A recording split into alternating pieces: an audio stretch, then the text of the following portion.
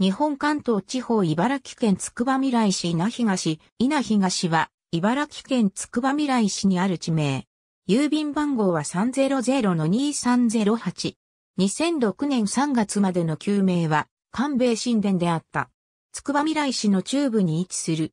合併前までの旧地名は稲町大技関米神殿であったが、住民発議により、柔ら村との合併と同時に、大技名が変更となった。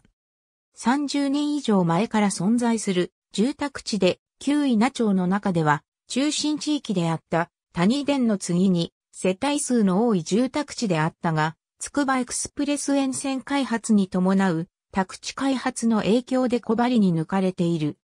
東は間宮名、西は小針、南は板橋、北は高岡、小島神殿と接している。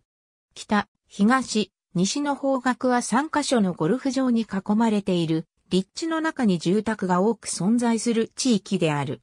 住宅地の地価は、2017年1月1日の工事地価によれば、稲東朝稲東33番58の地点で25,100円、平方メートルとなっている。合併前の旧稲町の町名である、稲と旧稲町の方角的に東ということから、2017年8月1日現在の世帯数と人口は以下の通りである。つくば未来市、コミュニティバス、未来号が地域内を走っている。隣の板橋地区内を走る、つくば市矢田部地区、常磐線取出駅を結ぶ路線バスも利用可能である。板橋を参照地域内には、関米神殿児童公園入り口、稲東、中央、稲東自治会館前、稲東北の4つの停留所がある。最寄り駅は未来平駅で地区内から2から 3km 離れている。私立小中学校に通う場合、